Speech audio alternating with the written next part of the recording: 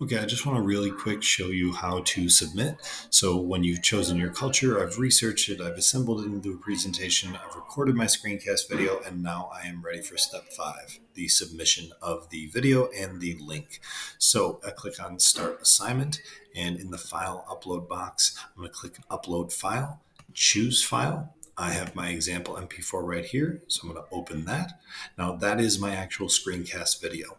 If you notice a link to your Google Slides in the comments box, this is the comments box. So I'm going to go here, I'm going to copy this link. And then I'm going to go back here, I'm going to paste the link there. And then once I have the um, MP4 and the link in the comments box, I'm going to go ahead and submit. Now, to make sure that you've done it correctly, you can also check your submission. You should see the confetti. And if you go to submission details in the top right, it should show the MP4 with the link in the comment. Let me know if you have any questions.